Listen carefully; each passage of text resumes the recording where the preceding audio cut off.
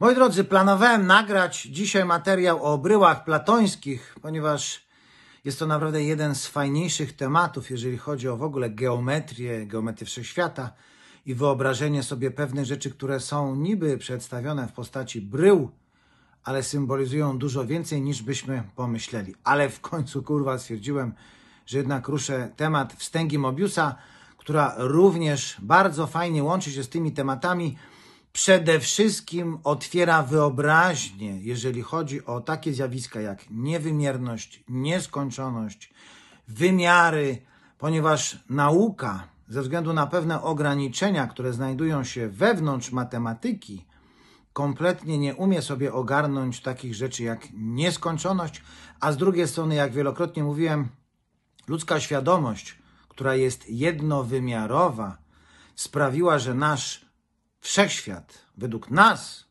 ponieważ wszechświat wygląda zupełnie inaczej niż my próbujemy go opisać, ze względu na to, że nasza świadomość jest jednowymiarowa, nasz świat składa się z przeciwieństw. To jest zasada dualizmu, ale to jest tylko wynik tego, że nasza świadomość jest jednowymiarowa, liniowa.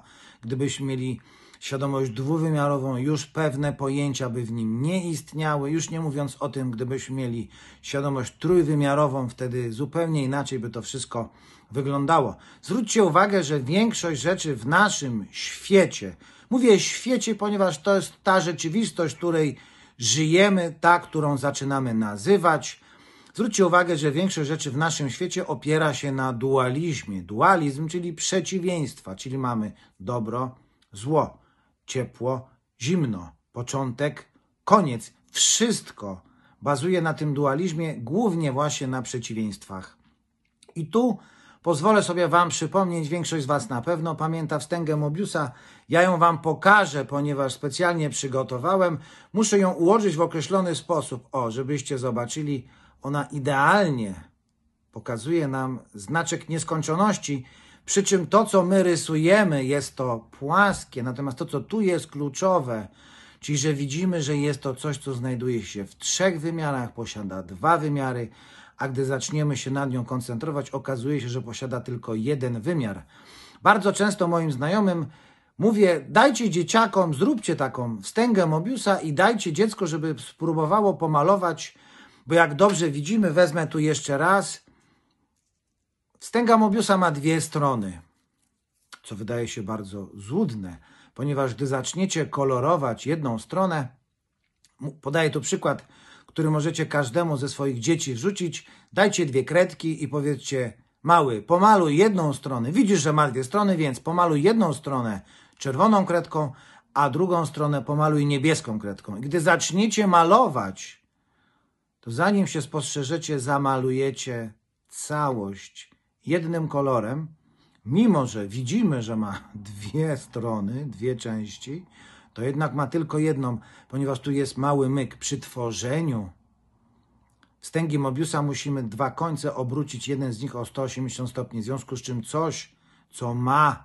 dwie strony, okazuje się jest jedną nieskończenie długą płaszczyzną umieszczoną w dwóch, trzech wymiarach, to w zależności jak sobie będziecie definiować.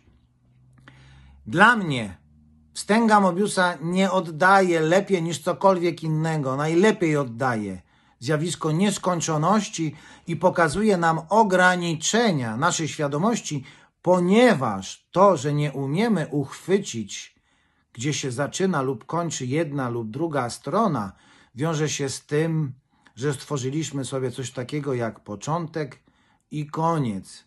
W tej postaci wstęga Mobiusa nie ma ani początku, ani końca.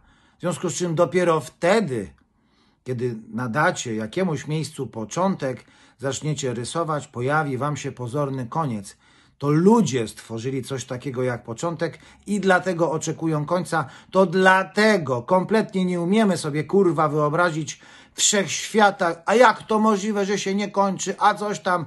Te wszystkie pojęcia, które sobie potworzyliśmy, są niczym innym jak czymś, co ogranicza naszą świadomość w postrzeganiu i przede wszystkim rozumieniu wszechświata, ponieważ to są związane z ograniczeniami naszej jednowymiarowej świadomości zjawiska, które bazują właśnie na przeciwieństwach. Natomiast w momencie, kiedy wyeliminujemy początek i koniec, nagle to wszystko zaczyna być dużo bardziej klarowne i prostsze.